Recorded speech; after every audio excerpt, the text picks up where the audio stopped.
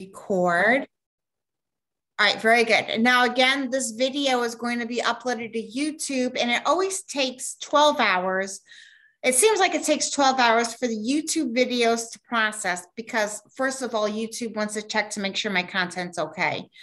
And second of all, the closed captions always take so long um, to, to process and I, I just can't seem to get away from it. But the video is available like almost immediately. So I'll email this out to you, uh, this video out to everybody. So a few things. So what I've been doing this weekend is fielding questions. Some of them are really, really good too. Um, about uh, ASL type of stuff. And uh, I wanted to go ahead and um, I've got so many things open to uh, and make sure that uh, people here we go. All right all of i had to meet with institutional assessment on saturday actually the academic service learning office. For any of you that are with organizations such as the uh, online projects that are available via the asl office to complete the assignments for tomorrow um, the Office of Institutional Assessments has been reestablished at St. John's. That's my understanding. Institutional assessment at St. John's University is requiring uh, the Director of Academic Service Learning um, for students that are engaged in one of the four programs that I've made available through the Academic Service Learning Office to perform distance service learning at a distance, not CMS, but the other ones. Um, you have to set up an account with the actual organization. And then after you set up your account with your service learning site, such as the Smithsonian, all they need from you is a screenshot of your account from that service learning site for your ISO letter. That'll be it for right now because you can't do anything else. Later on in the semester, uh, well, so after you go and follow the instructions for setting up and logging into the site for wherever your service learning community partner is, you're going to be held accountable by the system in terms of how many hours you're doing. And then that system, my understanding, generates a feeder into the GivePulse system, which you're going to ask, which I'm going to ask for you at the end of the semester. So at the end of the semester, anybody that's engaged in one of the service learning community partners set up by the ASL office, um, you are going to actually be utilizing the academic service learning GivePulse system. Everybody else, who is not, you're going to submit to me what you're doing now, your ISO letter. So I can go ahead and start keeping track of this in Canvas.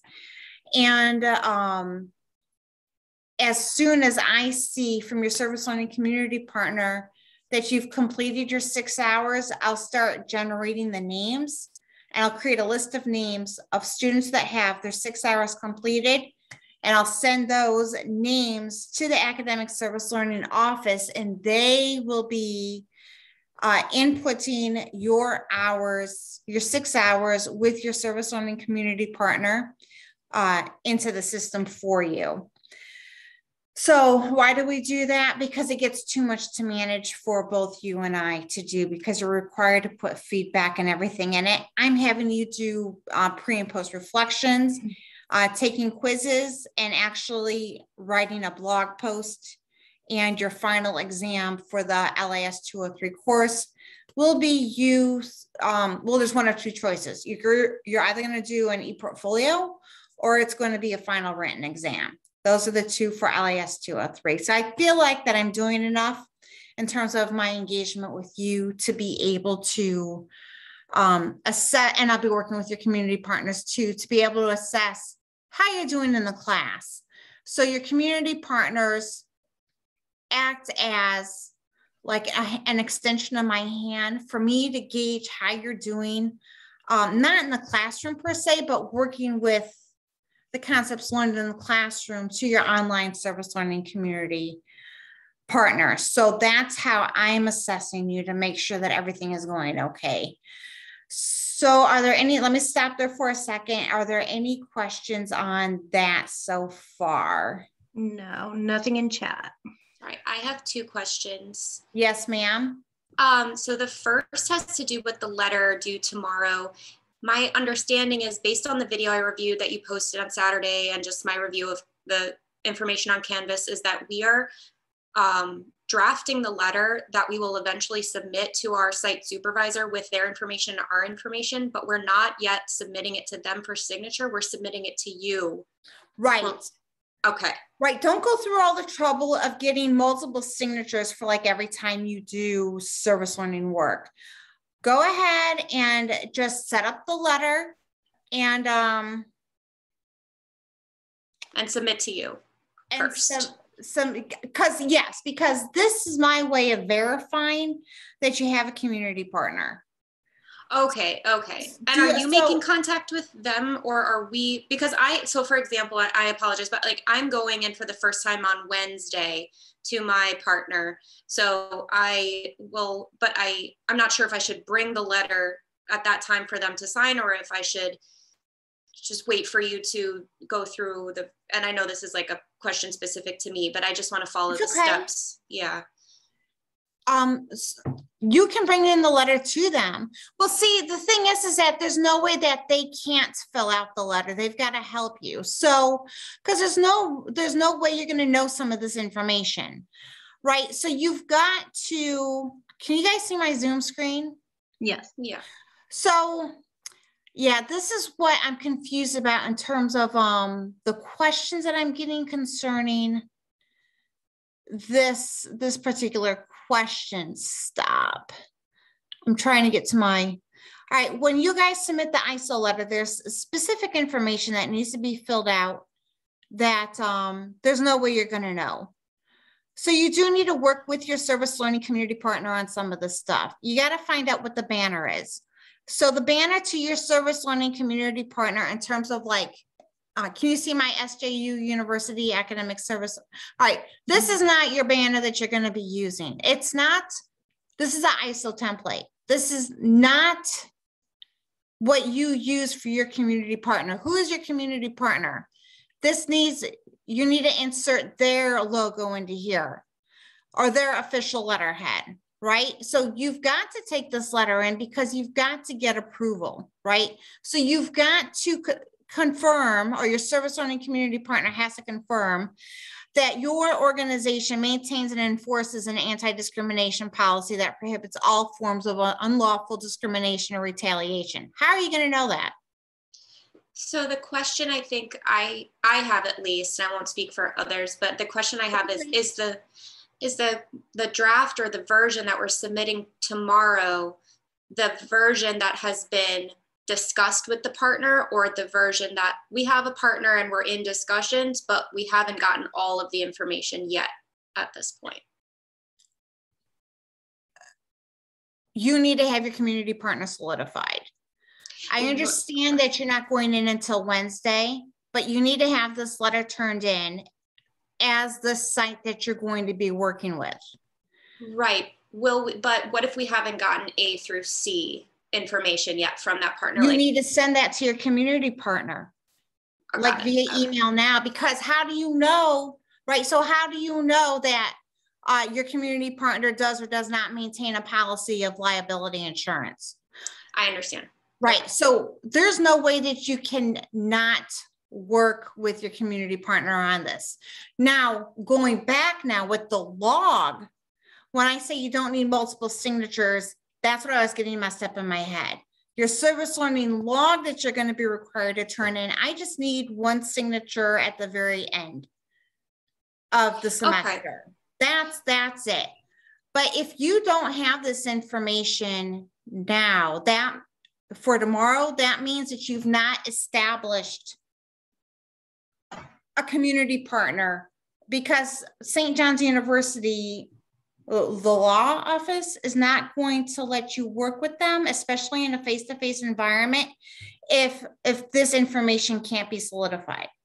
Understood. Now, with working with the CMS JSTOR project, that's my project, that's hands-on. I've been doing it since 2012, 2013. It's something the university has on file. The academic service learning online organizations that I was talking about, those have all been vetted through uh, the service learning community office. That's why all we need is a, a screenshot of your actual account setup. So any of you here for that's in section CRN 12542 uh, that are signed up for the Smithsonian Digital Volunteers Transcription Center, uh, I need, I just need a screenshot of your log. So Anybody? final question. Oh, I'm so sorry. Nope, you're fine. Go ahead. That's why we're here. Uh, final question about the letter. Do, do you need a wet signature on that? No. Letter? Okay. No, no, not, no, not no. at this time. Okay. no, I was. let's let's just try to get the answers from your service learning community partner. That's good enough. Thank and you. Then, okay. And and that's fine. But at least the the um the organ the at least St. John's can go ahead and start vetting your community partners. No, it's that's hugely helpful. Hugely helpful. Okay. So see, so I feel bad because I'm like, okay, what what is happening here? What is was but what i'm seeing is that there are multiple versions of the letter that are needed because there's three different scenarios going on establish community partners in the online environment through asl establish community partners within the online and after covid or post covid whatever that looks like um, ASL community partners with me because they've been vetted thoroughly and I've been working with them since 2013. And then there's your own established academic service or your own academic service learning community partners that you're going to be working with within the face to face environment that's geographically located by your house. Those are the community partners where I need the ISO letter. Definitely. The other ones, it's, um, we're going through the process in terms of who's signing up for what project. So uh, let me go to the CMS and I'm not done here, right? So the South Arts, I know I saw that um, ISO letter come in this morning. I'm going to pull or extract the information from that ISO letter onto here, uh, in, right into here. And um, I'm going to start being in contact with your service learning community partners. This is how I, so Matthew, I'm going to be getting in contact with your service learning community partner. So it's kind of a stepped process in terms of how this is working. Uh, St. John's University is establishing the fact that um, they're legally covered by your service learning community partner um, answering those questions. And then um, I am getting all these service learning sites set up. This is how I spent my weekend um, for students. So Emma Raleigh, I, I need your ISO letter, but this is to confirm with the St. John's University um, Academic Service Learning Office and the law office that you, you are doing these activities and that it is a project that you're going to be working on six hours uh, with the service learning community partner, the Center for Migration Studies um, in terms of creating metadata. Uh, Friends of Maple Grove, they are newer to me, but not to the Academic Service Learning Office. The prior um, director, Lynn Stravino, knows Carl from the Friends of Maple Grove. I met them two summers ago. So it's an established community partner. And I know Gordon's going to be working with the Friends of Maple Grove. And um, so I just need to make sure you're protected. This, did I just, does that answer all the questions? Um, with regards to what is what I'm looking for for the ISO letter that's due tomorrow? I believe so. Um, it's a yes. lot. I know. I'm gonna do my very best. Send your ISO letter to your um your your community partner that you hope to work with, and just have them fill out um have them fill out the letter to the best of their ability. Now, I, I do have a few letters that um, I thought I provided as examples, but in hindsight, it was only to my GA. So let me just show you an example. Um, I did send um, anybody that's working on the CMS JSTOR project with me. I've sent out that letter earlier uh, last week or later, it was last week. Um, can you guys see my screen? Mhm. All right, very good. Uh, let's go to, oh, she's not going to care. Ba, ba, ba. All right, so here's from um, Friends of Maple Grove. Here's their little um, like banner, their their watermark they use for their organization. This is where they're located. It's all the information. It's dated to, from, and here's the letter. Yeah. Some organizations are a little bit more specific. Like, for example, for the CMS JSTOR projects that I'm having students work on with me, um, I worked with Dr. Mary Brown in terms of setting up, who's a part-time archivist over at uh, the Center for Migration Studies, and setting up a JSTOR template. So I sent this template out to the five or six students that are working with me for the for this semester, and I it, it was done a little differently. Please open.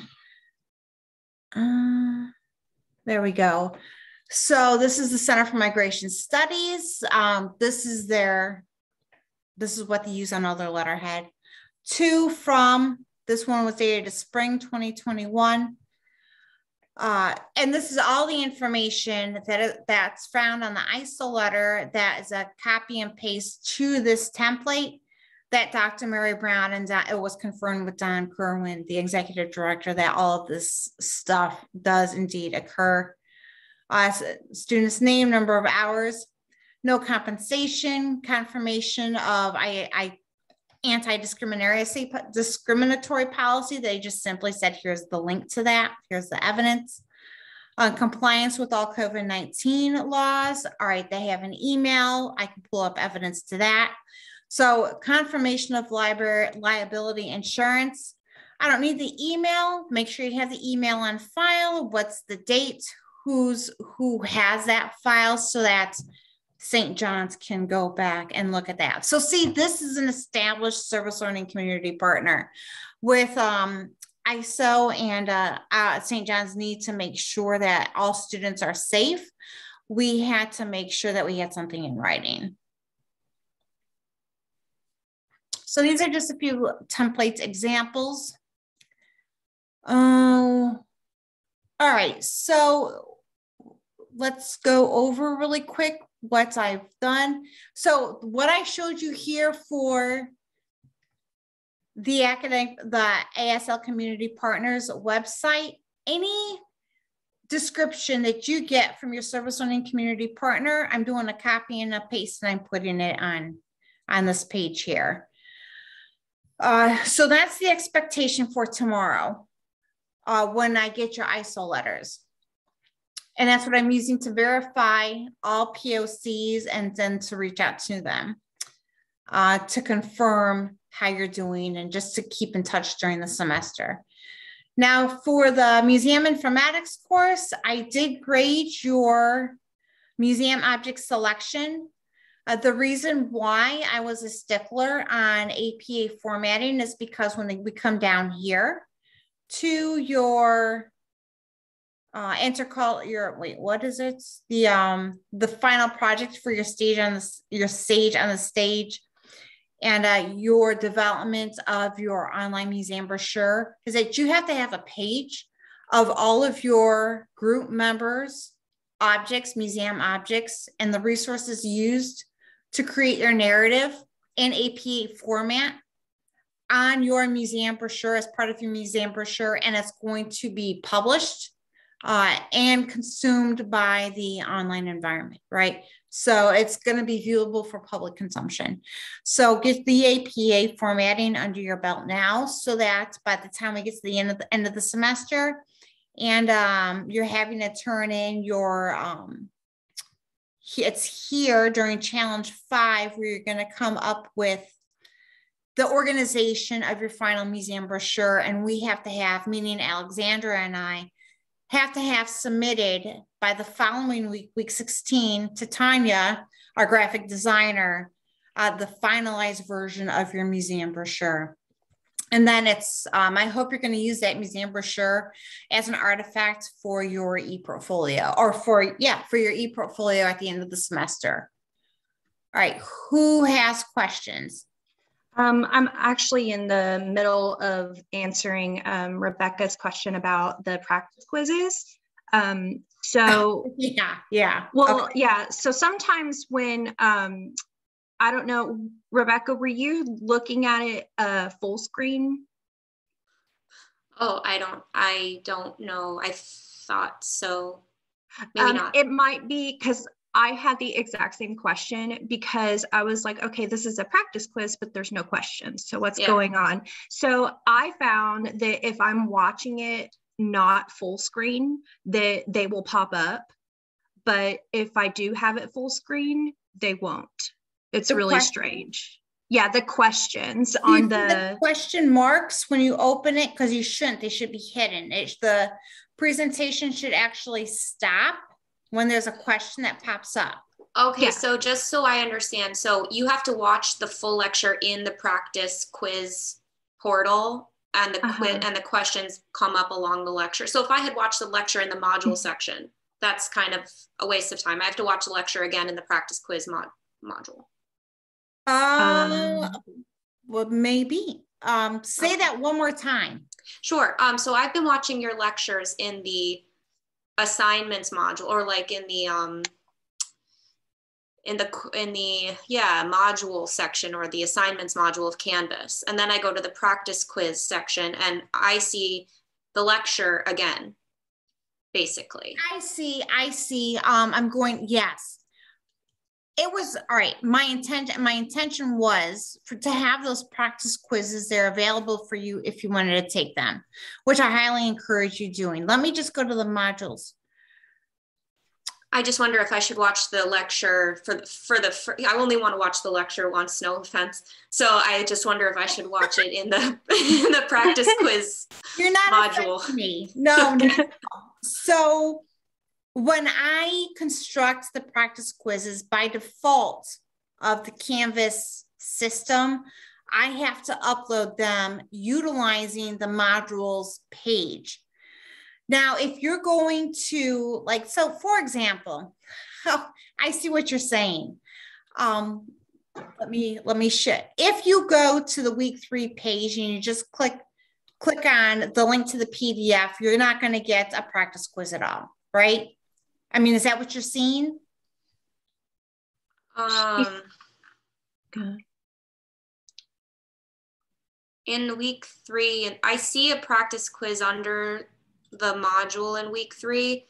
Um, let's see, I see a link to it and I see yes, it's uh, what I see is a link to the lecture, which is also, I think, linked under just the general assignments Okay, so here's how I have to set up practice quizzes in Canvas. And once I tell you this, don't assume it's going to be the same for the next semester for another class you take because Canvas likes to do updates, right? So then I have to relearn the system. So this is an update that Canvas did during the summer. If you click here to week three, it's going to take you right to the week three page. So when you scroll down, Here's the copyright basics, for example, right? Um, that's the PDF. Uh, if you go here to the practice quiz, that is the actual quiz. If you go here, that's just the lecture without the quiz. So it was my intention to show you three different ways to access the information uh, because I don't know how you guys learn best. Right. I don't know if you like reading PDFs. I don't know if you like taking the practice quiz or you just want to hear the lecture. So every time I've gone in and I've uploaded the practice quiz, uh, I can change it if you want, but um, I've only just done the small screen. And when I test it, this is how I test it too. So resume quiz. That's yeah, so I thought it important. So are the are the questions embedded in that lecture? So you yes, madam mm-hmm. uh, Anywhere okay. it says practice quiz, that's the practice quiz. So I never got that far because I was I already watched this. okay. Does that help at all? Yes, I will watch the lectures within the practice quiz, so I'm doing active learning and listening. Thank you very much. Sometimes I see students just wanting to go to like a certain part of the video and not have to take the quiz again. I get that. Sometimes I just like to look at the PDF and have that printed out. And I like to take the, I like to answer the questions at the same time. Where I got these ideas from is from my previous job before I retired from the military, and they had that training set up. Every time I took my PME, my professional military education, I had to take the embedded practice questions in with the lecture to get credit for the course. But they actually they actually had a PDF too that was available that matched the lecture, right? And so that allowed me to utilize more than one teaching mode or one more than one learning mode. I was listening, I was reading, and I was engaged in the questions. So in the online environment, I don't know how any of you learn best. So I'm trying to make sure with this method that I am able to engage students where they learn best. And, and those are the tools that are available. Uh, I have okay. a question. Yes. okay, so um, for our CMS analysis, mm-hmm. have um, my partner is with the Wellcome Collection in the Wellcome Library and I was doing research on their CMS um, current setup. Yeah. It seems that they have they've chosen option four as mentioned in Me- no, I think it wasn't Mizuna's article. It was uh, I think the Bennett article. I can't uh-huh. remember.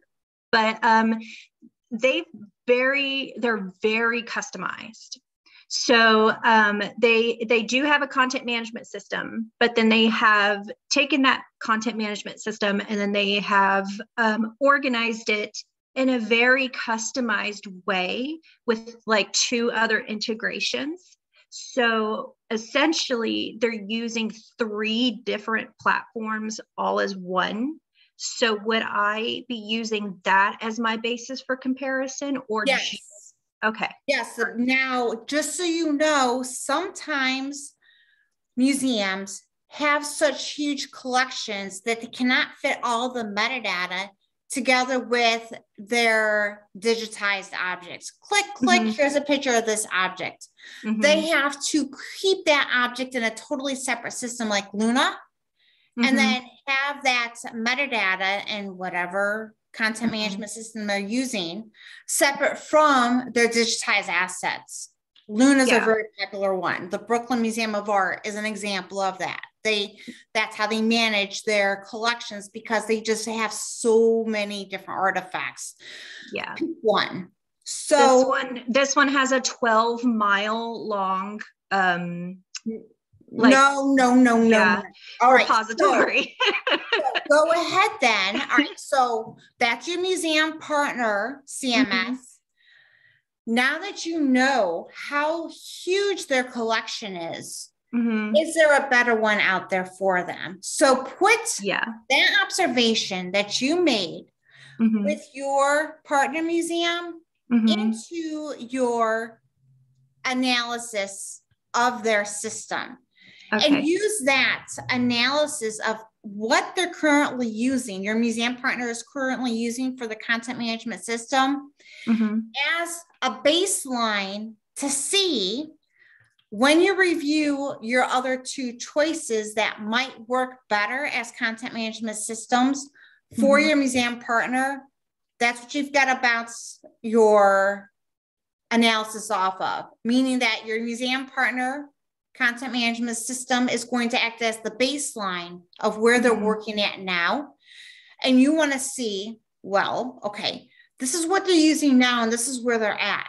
But mm-hmm. would there be another content management system that would work better for them? In some instances, mm-hmm. yes, in terms of data elements, right? And in mm-hmm. some instances, no. So start with your museum partner content management system. Mm-hmm. Assess how they do at collection building, browse and search capabilities, presentation. All right. Assess how they do with each of these data elements by utilizing your partner museum collection management system first. And then where do you go from here? The idea mm-hmm. is to get you um, to be able to produce some sort of conversation while you are possibly interviewing for a job mm-hmm. later on down the road. And it doesn't have to be with this museum, but I want to want you to be able to converse with somebody else on content or collection management systems, the different data elements that are involved in measuring or assessing the value of a mm-hmm. content management system for a specific organization. In this case, it's your museum partner. And then being able to assess is this good or not good? And how, is there something better out there? That's the whole idea. Okay. And I, I have one more question. Mm-hmm. So the features that are listed on, because I have gotten a question from a student about this. So uh-huh. the features on the uh, left of this um, chart. So are those definitions like an expanded version of those definitions? Because I've tried to read all of the articles about content management systems. Is there an expanded definition of what to look for in any of the articles that I probably haven't read yet? um, like for example what is collection building with in reference to like you know a content management system how does that look in a content management system and browse and search how does that look I, I do have something but it's an older article so i was hesitant in giving it to you guys okay. because it's older i mean do you want that or or no because it does have definitions in there about what you're asking for expanded definitions for different data elements to assess when looking at content management systems. I, I think that might help a oh, little bit. Yeah, Just because you know, like um, ArchivesSpace uh, took over Archivist Toolkit. So Archivist mm-hmm. Toolkit, when you're looking at this, no longer exists or it's no longer being supported by ArchivesSpace it's just ArchivesSpace and they say it's free but when you actually look get in there and you look at it yeah, it, it, it's it's not. Yeah, so they, I mean, they always say it's free, it's freemium. So, but um, but really just the definitions. It doesn't really matter if it's like still in use, but like what is a content type? Um, you know, and kind of expanded like what are the different content types that I that I should be looking for. Um, because that is where I got a little hung up because I was looking through the articles like, well, I want to make sure I'm looking at the right thing. Um, and then another student asked the same question. So okay. that's what I was. Um, yeah. All right. Um, yeah let me go ahead and i'll send that to each individual person via via email and i'll go ahead mm-hmm. and i'll post it on the website. Okay. On, Thank on you. the campus website. Very, very good. Okay. Um, but it's it was like a study done in the early part of the 2000s. Okay. It's the definitions have not fallen out of uh-huh. use. They they are still in use. It's just the um technology has changed yeah that's really all that yeah so the technology changing that's okay but it's really just the um, definitions that i think would be useful. So okay. it doesn't really yeah. All right so that is that is my on my to-do list. Okay uh, we're at the 30 minute mark and so if there is nothing else this is going to be uploaded to this video is is being recorded it's going to be uploaded to youtube and then I owe you guys that, that article for the museum and the content management systems. Okay? Okay. All right. So Jenny, please let me know if there is anything else, any other questions or anything like that. I don't but, see anything in chat or anything. So, all right. Well, I know some students are going to you before they go to me, if at all. And so I think it's a matter of comfort, but um, I appreciate everything you're doing. Oh, sure. Absolutely. All right. So I'm going to stop recording.